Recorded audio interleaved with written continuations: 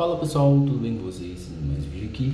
Nesse vídeo eu vou estar ensinando para vocês passo a passo como vocês podem fazer o processo para estar tá aí ativando o modo de filtros de raios azuis aqui no seu modo difuso. Então vamos lá. Primeiramente você clica aqui nas suas configurações. Após clicar nas configurações você vai pegar e vai descer até a opção de tela.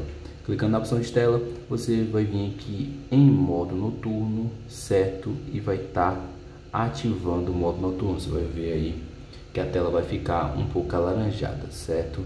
Que isso vai ajudar aí na facilidade para você ter noites de sono melhores, certo? Além de ajudar também é, na economia da bateria do seu motor infuso.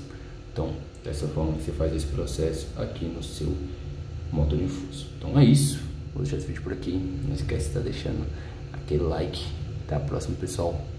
Valeu fui.